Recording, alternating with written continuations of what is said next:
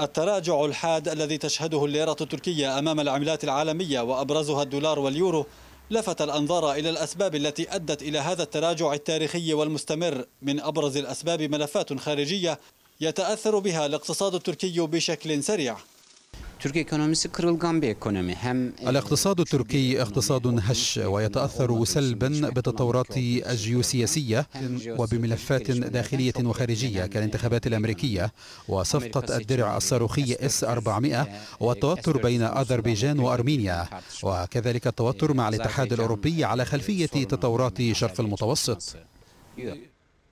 ومن الأسباب الداخلية عدم رفع سعر الفائدة من طرف البنك المركزي التركي إلى جانب تراجع الاحتياطات من النقد الأجنبي لدى البنك المركزي تضاف إليها تأثيرات فيروس كورونا. المعارضة التركية من جانبها تستغل ملف الأوضاع الاقتصادية لتوجيه سهام انتقاداتها الحادة للحكومة والحزب الحاكم. Türkiye Varlık Fonu'nun 2017'de kısa vadeli borçları 26 الدولة غارقة في الديون. جعلوا الشعب بأكمله مديونا. صندوق الثروة السيادي بات مديونا بمبالغ خيالية. ونحن نسأل أين ذهبت كل هذه الأموال. مركز الإحصاء يعلن أرقام تضخم منخفضة غير حقيقية. نحن كمعارضة لدينا خطة اقتصادية أعددناها بعناية لحل مشاكل البلاد الاقتصادية.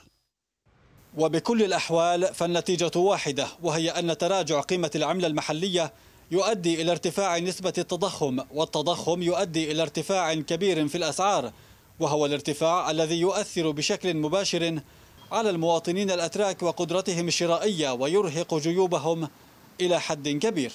يرفض البنك المركزي التركي رفع سعر الفائدة وهو ما يتوافق مع رغبة الرئيس التركي الذي يكرر دائما بأنه عدو أسعار الفائدة وبأن هناك مؤامرة تستهدف الاقتصاد التركي من أطراف داخلية وخارجية.